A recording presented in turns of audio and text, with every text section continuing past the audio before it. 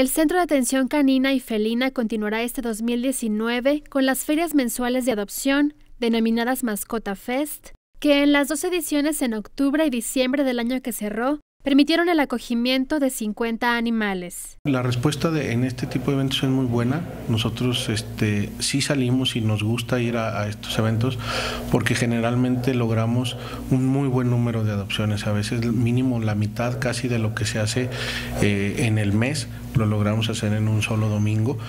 Eh, la gente ya lo espera, eh, ya sabe que por ahí digo, no, no era tan constante, pero sí de pronto digo nosotros o alguna asociación hacía y pues la gente se le facilita más. Ah, para mucha gente es complicado venir hasta acá. El Mascota Fest se realiza en la Plaza Bicentenario con la idea de que más personas tengan oportunidad de participar en la adopción de algún perro o gato. De igual forma, el centro continuará con las caminatas denominadas los domingos al CAF o domingos de paseo cada último domingo del mes.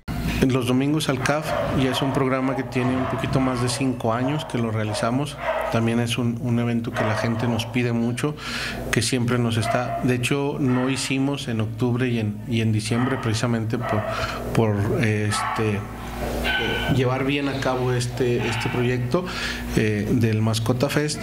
Y, pero sí, desde diciembre la gente, oiga, pero es que, pues que vuelvan y que vuelvan. A la gente le gusta venir a convivir con los animales, sacarlos.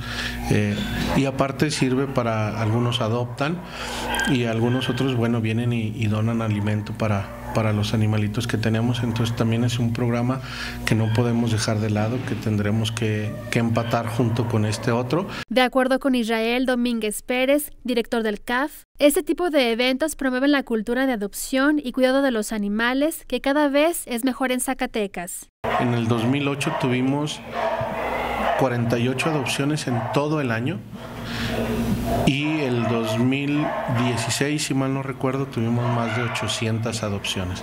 Entonces sí ha cambiado, sí la gente es más consciente, también hay más gente que te trae a esterilizar este, eso te habla de que tienen una cultura de, que no haya tantos perros ya en la calle. Eh, cada vez hay más gente que viene a, una consulta por mínima que sea, este, pero que ves que ya se preocupa por los animales. Para Sistema Informativo CISART, Arazú Tinajero.